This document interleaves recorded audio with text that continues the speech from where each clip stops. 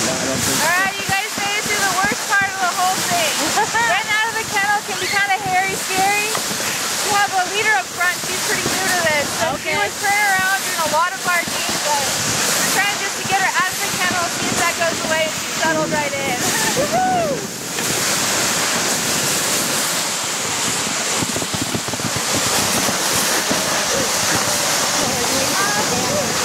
What's that? Woo! Mush! Mush! I think I got that on my shirt.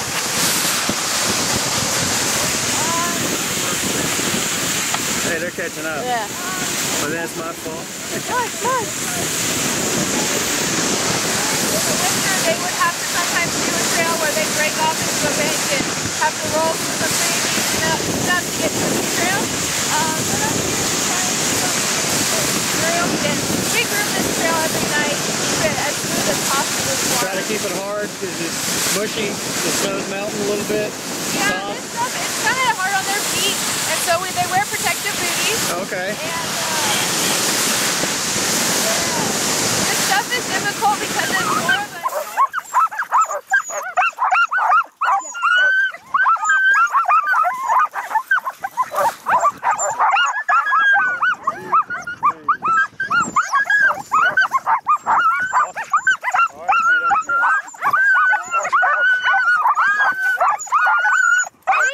Hey!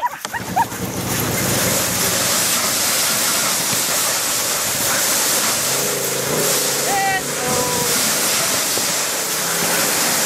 Yeah, our female up there, Lee, she's pretty new to this. She kind of causes some problems. She's all girl. Hopefully by this winter she'll be a, a nice strong leader. Right on. Different feeling, huh?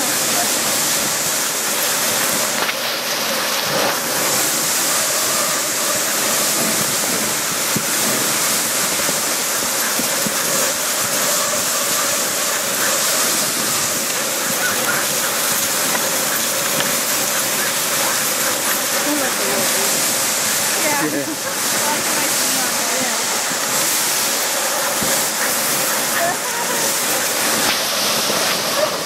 We're gonna go through some little ups and downs here. If you feel yourself getting a lot of slack in the line, tight.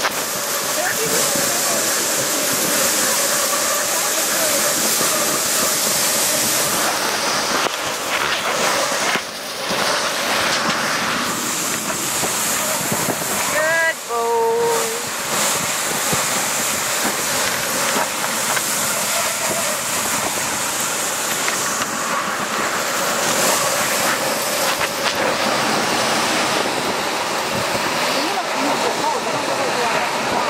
Um, actually, I'm from California. Yeah. Uh, this is my second time, so guess I'm a little used to that. But it's all about having the right clothes on, not necessarily too many.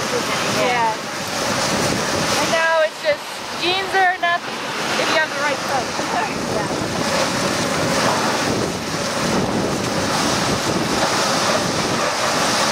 They're just dead silent. They, They love it. in. All you hear is sheep on up the middle. It's like the uh, the sheep herding dogs I saw in Ireland when they're locked up in their pen or whatever the area is, barking, barking, barking. But when they get going and they do their job, they're dead silent. Yeah, it's pretty amazing, I think, what these dogs